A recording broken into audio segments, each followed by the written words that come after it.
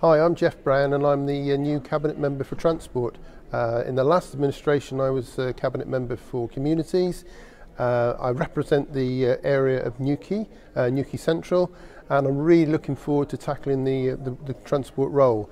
It's a very broad and very demanding role.